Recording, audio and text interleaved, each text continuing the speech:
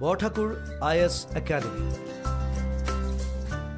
প্ৰস্তুতি আৰু অধ্যয়নৰ নিৰ্ভৰযোগ্য ঠিকনা Hello everyone, uh, this is Fani. Welcome to Borthakur's IAS Academy. This is our daily Hindu analysis class for 3rd September 2021. Let us begin with the first article today. CJI flags communal content in media. So the Chief Justice of India pointed out that the problem is everything in this country is shown with communal angle by a section of media. The country is going to get a bad name ultimately. So, what is he talking about here? What is the Honorable Chief Justice of India talking about? So recently there has been a spate of incidences where either TV shows, movies, or news reporting has been given a communal color. So is that a good thing uh, that happens? The answer is no. Right? You have certain sections of media in our country. You have OTT platforms. You have social media platforms that tend to um, give a space for these kinds of activities to nurture right grow not nurture but grow they give a space for these uh, sections or these people who want to flare up issues between communities in our country to uh, communicate with each other and so on and so forth. So like i said there has been multiple tv shows uh, movies uh, and certain sections of uh, media which do reporting by giving them a communal angle. The problem is there is a clear lack of accountability or at least on the part of ott platforms and social media companies uh, uh, when you talk about media there is certain there are certain regulations that uh, the media uh, uh, media conglomerates or media uh, tv channels or news reporting channels must, must adhere to. But when you look at the same thing from social media perspective and ott platforms whatever the regulations are there are not that effective in the sense that um, if anybody is found to be floating those norms if anybody is found to be hosting such content that is communal in nature that might result in um, some sort of an law and order issue there are no repercussions right now right? There is a clear case of lack of accountability. The problem is social media companies uh, we have seen recently how social media companies have been responding to the courts not only the courts the government itself. The best case example is twitter the government of india brought in the information technology intermediary guidelines and uh, digital media ethic code rules of 2021 and we saw how difficult it was for the government of india to get an uh, grievance redressal officer appointed by twitter who happens who according to those guidelines should be an indian. But we saw how that thing played out. Even in the case of courts they have been pretty reluctant to attend uh, pretty reluctant to uh, adhere to guidelines given by the courts also. Mind you these guidelines were not brought in by the government of india. These guidelines were brought in by the government of india upon the order by a court. The court said the guidelines you are saying are not effective. Please bring in more stringent guidelines. So that is how these it rules came into play. So let us say twitter facebook even youtube to a greater extent you saw you see content that is being posted on these social media platforms uh, youtube is at the end of the day is a social media platform. It's a video content platform but nonetheless it is a, it can be termed as a social media platform. You see a lot of content that is either derogatory or outright hurtful at some sections of our society again lack of accountability. What can the government do? What can the companies themselves do? But you see these companies floating those norms. Let us take the example of twitter. See forget let us keep aside the communal angle or the communal content on one side. One of the biggest accusations that uh, Twitter faces, particularly in our country and not only in our country, in other parts of the world, is the hosting of adult content, particularly pedophilia, underage uh, pornographic content, which is a huge problem, which is a crime in our country, which is an offense, punishable offense in our country. But you still find multiple instances of those content being posted, shared, and hosted on Twitter social media platform there seems to be little that Twitter is doing in our country to address this issue, despite knowing that it is a crime, offense in our country. So, again, the, at the end of the day, the buck stops at the company. It has to adhere to the law of the land, but where is the accountability? There is no accountability. Right, even the Chief Justice went on to the point stating that they only respond to the powerful people. See, I cannot comment on that. Uh, neither can you comment on that. That is uh, the wishful or uh, the esteems of the observations of our Chief Justice of our country. Now, the point that we have to concentrate here is their inability to answer to institutions of India. Right? These companies are private companies at the end of the day. They are answerable to the laws of the land. Who are the implement who are interested with the job of implementing the laws of our land are institutions and you see these companies not adhering to those laws and not answering to the questions posed by our institutions. Let us take again the case of Twitter, Facebook, and YouTube. When our parliamentary committees requisitioned that their heads of the companies be present in uh, parliament for questioning, none of those representatives showed up. Right? India is a democratic country, we have a huge parliament we have the mandate of the people being given on a regular basis without any hindrances there are, uh, see when a democratically elected government which is bipartisan at the end of the day parliamentary countries are bipartisan. You have both the opposition and the government in power sitting together.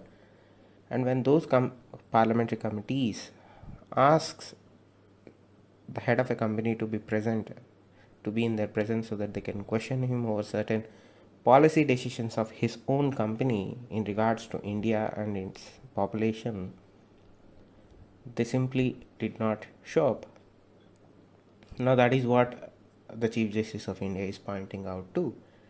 These companies, not only they are giving space for these kind of communal content to be hosted on their platform, to be shared on their platform, to be viewed on their platform, they're also pretty much careless about how they respond to the institutions of our country so this is a two aspect thing. One you have on one side of uh, this article you have on one side news channels that is right media sections of media. On the other hand you have social media companies. So it is a two pronged problem that cannot be addressed with a single stroke. It has to be done at a accountability level. It has to be done from that perspective the digital media guidelines right the it rules kind of address certain issues but they again uh, do not answer the complete problem. So that is what the chief justice of india is alluding to here right? There is no accountability. They never respond. The institutions that are interested with the job of overseeing these companies they never respond to those institutions right they do not uh, that is what this article alludes to right? These companies are acting on their own with impunity as there is no accountability to be held. Now moving on to the next article. Afghan origin terror prime concern india. So this is in a long list of articles that we have been considering and studying for a long period of time since the Afghan situation became very fluid with the withdrawal of American troops.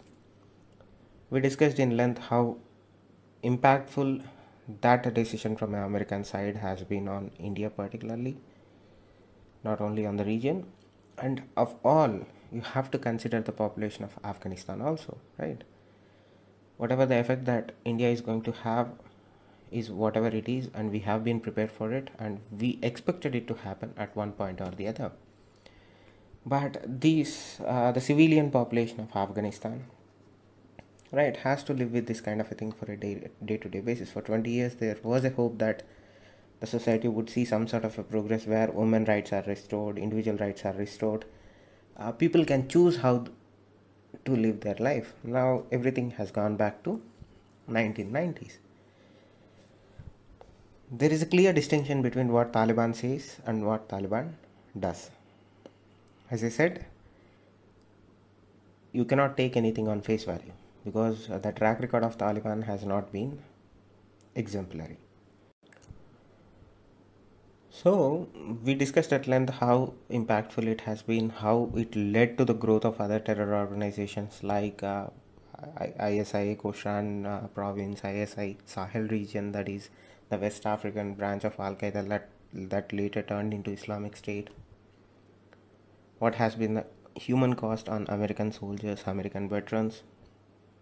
What, what has been the cost on the civilian population of Afghanistan? Right? Hundreds and thousands of people have been killed in various suicide attacks, various attacks on Afghan civilian population. So I think it is well, pretty well established what was the out, outcome of the 22 decade war in Afghanistan.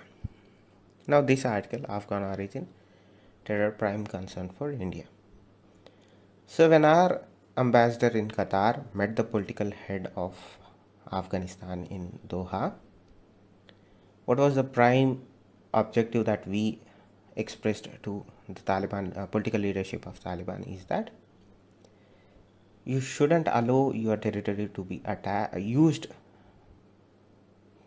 to originate terror attacks in India. Right? Let me frame it in a proper way. You shouldn't allow any terror organizations in the world to use your territory to plan and carry out attacks on Indian soil. Then, then, then came the request for evacuation of religious minorities and if and any Afghan wishes to travel to India, they shouldn't impede. Right? These were the requests. But as we discussed in earlier classes, there is a clear distinction between engaging with self interest and engaging with trust. For uh, is the trust between India and Taliban? The answer is no. Is there a reality where we have no other option but to engage with Taliban to preserve our own interests and uh, preserve our own internal security? Yes, that is that is what we are seeing here. It shouldn't be interpreted in any other way. Right? It is the real uh, politic that is taking place in Afghanistan, where we are also molding or changing our strategy to address the realities on the ground. Now the primary and immediate concern for Indian government is terror threat emanating from Afghanistan. So let me give you an example of what kind of threats we are talking about. So when the American troops left, they left some equipment back. Of the list of equipment that you might have read on the internet that might have been shared with you, one of the things that the American troops have left behind is night vision goggles. The problem is once these night vision goggles, which are American made, right, find their way into the hands of terrorists operating in Jammu and Kashmir, the advantage that Indian security forces have over those said terrorists during night operations is gone. It's a matter of how, it's just a matter of when.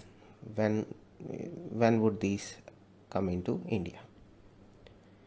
So that is one reality. That is one area of threat that India expected, right? But did not expect, but has to contend with. Now, when our security forces carry out operations during night, our special forces are equipped with night vision and the sad truth is those terrorists who are work who are carrying out terror activities in Jammu and Kashmir and in any part of country in future will also have night vision goggles uh, provided by our uh, neighbor that they got it from Afghanistan. So the the upper hand that Indian security forces had over these terrorists is a little bit gone, but from what I understand, our security forces are also prepared for that kind of an eventuality. But that, to give you an example, it is not important for exam point of view, but that is one example where we'll face challenges. These are the challenges that we are talking about. This is the primary and immediate concern of india is not only recruits coming in from afghanistan into jammu and kashmir and other parts of india but also the equipment they try to bring in. So these are the factors that india is worried about. As far as india would confirm whether uh, Taliban would be considered still considered as terrorist group or not? The answer is undecided. Remember, India sits on the 1988 uh, Taliban Sanctions Committee. India, the committee is headed by India. One of the biggest uh, requests from Taliban side is to remove Haqqani network from designated terror groups. Right? How is Haqqani network or Haqqani group is related to India? They finance terror organ- uh, terror activities in India. They finance terrorist uh, training camps in other parts of the world, particularly our neighbor and Afghanistan. The deputy leader of Taliban, that is uh, Sirajuddin Haqqani, is known and to be believed to be responsible for a number of attacks on Indian entities, both embassies and consulates where few of our Indian embassy staff were killed. Recently in 2020 there was a uh, suicide attack in Gurudwara in uh, that part of the world where 20 people lost their lives. He was uh, linked to those uh, terror attacks. Now Haqqani network is also believed to be collaborating with the Islamic State of Khorasan province, which was responsible for the deadly attack on Kabul airport, where 200 people lost their lives, including 13 American soldiers. 200, close to 200 uh, Afghan citizens were killed in that attack. So this is where the confliction comes into play. On one side, we are trying to engage with Taliban to address the growing realities, ground realities. On the other hand, you have a strong case for entities associated with Taliban carrying out anti-India activities that undermine India's security, that undermine India's interests in the region and domestically. So the question again is what kind of engagement does India wants with Taliban? Again, this is very much still the initial phase as we discussed earlier, the UNSC resolution might and should be the foundation for our future engagement with Taliban. If that is the case, the primary focus is getting concrete assurances from Taliban that they wouldn't allow their territory to be used as a proxy to carry out attacks on our country. Mind you, things are different right now. Pakistan cannot cannot afford a terror attack on India, at least uh, terror attacks like the 2611 or any other terror, uh, attack bomb, uh, bomb blasts that are linked to the Pakistani state, they might use regional countries like Afghanistan, like Nepal, like Maldives, Bangladesh to carry out attacks instead of their country. That is a real threat and that is a evolving threat. So that is the relationship that India would try to have with Taliban. It would be a interest based relation. Now on the flip side, let us explore a bit about Taliban's relation with Pakistan. Uh, Taliban seems to have found an uh, foreign, minister, uh, foreign minister in the form of uh, Muhammad Qureshi of Pakistani Foreign Ministry he has been very vocal of their support and so on and so forth. But the ground reality is there is this thing called durand line right? So the durand line essentially what it does is it divides the pashtun population of pakistan and afghanistan into two parts. The sentiment is that the pashtuns should be an united front that is where you see the TTP uh, emerging, the offshoot of Taliban that is carrying out attacks on CPEC and Pakistani security agencies for the last one year or so. On various points of time, whenever the name Pakistan came up, the Taliban representatives have unequivocally said that the Durand line is something that we have to see that ends in a positive way for Afghanistan. So, what does it mean? It will end in the opposite way for Pakistan. So, that Durand line is going to be a constant worry for both Pakistan and uh, for Pakistan from the perspective of Taliban in Afghanistan. The second thing is the outreach that Afghanistan is, uh, the Taliban is doing to other world powers the moment they get that wider rec- recognition that they are striving for they no longer would need the help of pakistan right? One of the biggest help that pakistan has been uh, see pa- whenever you see this uh, taliban leadership traveling out of afghanistan to other countries they tend to travel on pakistani passports. So that is the kind of relationship that they share. So that is a point of worry for them too again anything related to taliban that says in public in regards to india has to be taken at face value. Until uh, a certain time is passed and then government is formed whether we have to see whether it is an inclusive one or not based on that our engagement will depend on and that is how future things will play out. But for us as far as the indian government is concerned the primary and immediate concern is terrorist threat emanating from Afghan soil under Taliban led regime targeting India. Moving on to the next article North Korea rejects Chinese vaccine, UNICEF. It seems that North Korea has rejected around 3 million doses of Chinese COVID 19 vaccine uh, named Sinovac, uh, which was donated to uh, North Korea through the UN led vaccine initiative, COVAX initiative, that is COVID 19 Global Vaccine Access or Vaccine Global Access, COVAX. They denied these vaccines by saying that these vaccines should be given to countries that are in greater need. So, we don't know what kind of COVID pandemic is going inside North Korea. It is very hard to gauge with little to no information coming out but experts do su- uh, suspect that uh, there is there are cases of covid-19 in the country. See remember north korea was the first country that imposed uh, stricter lockdowns compared to any other country in the world right?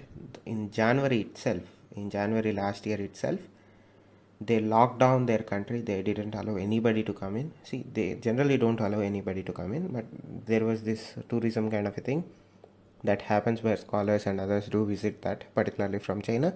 See chinese tourism is big in north korea but even they were they were the first country to impose strict lockdown to prevent uh, the virus spreading from their neighbor china. They get a lot of influx from china and they didn't want that to happen so they locked their borders. As far as that uh, the number of cases is concerned it is very hard to gauge because as i said little to no information comes into public or at least analysts have a difficult time getting information. Now it seems that they have communicated that they don't need the, those vaccines which are being given to them by the covax initiative now they wanted those vaccines to be given to other countries which were limited uh, by supply and surge in some cases right? You have certain countries uh, struggling with case loads they wanted to be given that. The reason i'm including is it's nowhere related to exam but i found very interesting that pyongyang the capital city of north korea would communicate with covax to receive covid-19 vaccines in coming months. So i found this bit of news little bit interesting from all the news that we have been uh, hearing for the last few day, a few months or so. So moving on to the next article, this is in regards to the UNSC resolution 2593. So as I said in the earlier article, we discussed much of it. In earlier classes, we discussed at length who sponsored it, who opposed it, or what was the reason behind these countries opposing it. Now let us talk about one thing, right? It talks about right what does the UNSC resolution talks about? It essentially talks about that it shouldn't be used. We all discussed that.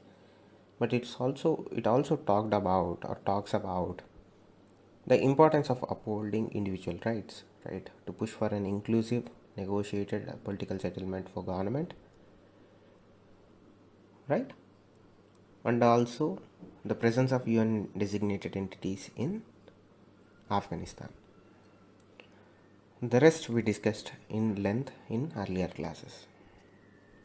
Now, one of the criticisms that uh, one found with that resolution was the watered down language used in the resolution, right? This is very initial stages. You cannot simply say that we are going to impose sanctions on Afghanistan because there is an, there aren't any commitments from Taliban, uh, right? Taliban government for uh, the UN charters uh, chapter 7 mandate to be invoked right which empowers the UNSC to maintain peace there aren't any actions from the Taliban side or commitments that they broke from their side to impose such sanctions see this resolution came at a point in time where India was heading the UNSC now what one hoped was the language would be very harsh in the sense that it would ask for more from Taliban than what it actually did in the final resolution. One of the possible answers could be that the countries of Russia and China were opposed to the resolution itself because they accused the resolution of being rushed through, being very um, non-inclusive of their own concerns respective concerns. But whatever the difference is they were engaging with india and other stakeholders in the unsc while the drafting of this resolution was taking place. But at the end they decided to abstain from voting altogether so the idea was that or at least it seems that the language that the final resolution had maybe because of severe opposition from Russia and China, whom later decided to abstain. So, again, the language was not uh, what one would have hoped for, but nonetheless, the resolution does indeed set the tone for how future engagement will take place with Taliban.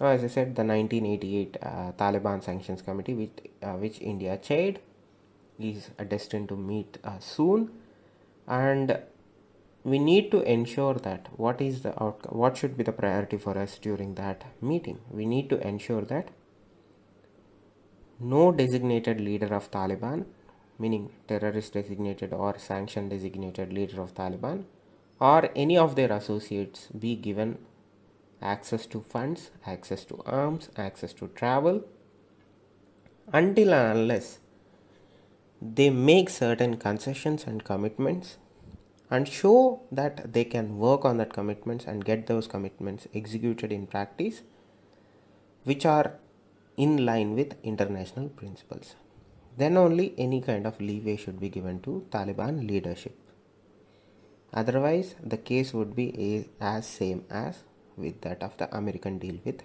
Taliban. So, this is uh, the editorial for today. Thank you. Stay safe. Namaste. Borthakur I S academy প্ৰস্তুতি আৰু অধ্যয়নৰ নির্ভরযোগ্য ঠিকানা।